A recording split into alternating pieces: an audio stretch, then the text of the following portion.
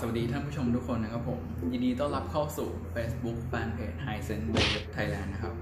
ตอนนี้ทุกคนก็อยู่กับผมวสินศรีวัน เจ้าหน้าที่ฝ่ายวิศวกรรมออกแบบของบริษัท h i s e n b a y ประเทศไทยครับ ก็ซึ่งในวันนี้เนี่ยผมก็จะมาแนะนำ product product หนึ่งซึ่งเป็น product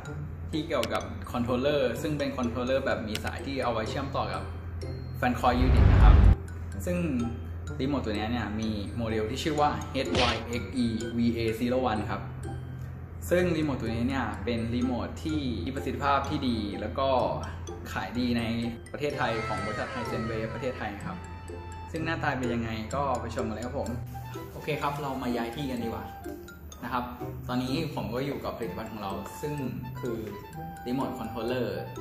ที่บรรจุมาในกล่องกระดาษที่มีชื่อว่า HYXE VA01 ครับผม ซึ่ง รีโมทตัวนี้นะถูกบรรจุมาในกล่องกระดาษนะครับ แล้วก็ถ้าเปิดออกกล่องออกมาเนี่ย มันก็จะถูก protect มาด้วยโฟมนะครับ ซึ่งไอตัวที่ผมเอามาเนี่ยเป็นตัว demo ของบริษัท เปิดออกมามันก็จะแถมสกรูขนาด M M4 16มิลนะครับ มา 2 ตัว แล้วก็ตัว remote controller แบบมีสายนะครับ VA01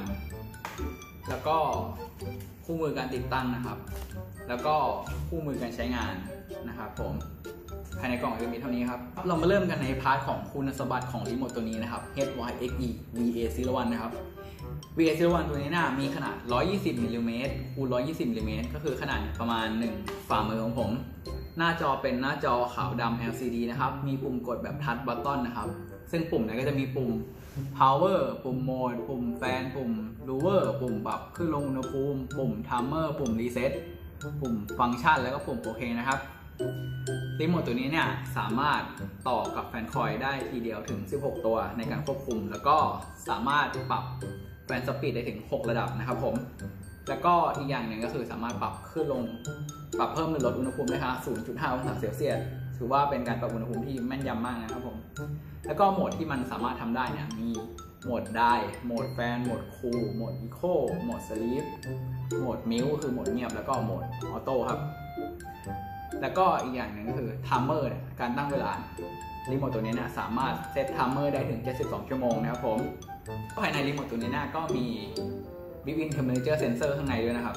โอเคครับ ผมก็ขอจบการนำเสนอแต่เพียงเท่านี้นะครับสำหรับโปรดักที่มีชื่อว่า HYXE VA01 ตัวนี้นะครับผม สำหรับท่านผู้ชมคนไหนที่สนใจที่อยากจะเรียนรู้เกี่ยวกับการติดตั้งหรือการใช้งาน ก็สามารถติดต่อเข้ามาได้ที่ h i s e n v Thailand นะครับผม แล้วก็ในส่วนวิดีโอของการใช้งานและการติดตั้งเนี่ย ก็จะมีทาง Service Engineer มาทำคลิปวิดีโอสอนทุกคนในคลิปต่อไปนะครับสำหรับวันนี้ผมประสิทธิ์สิวันขอตัวลาไปก่อนสำหรับวันนี้ สวัสดีครับ แล้วก็อย่าลืมกดไลค์กด follow ด้วยนะครับผม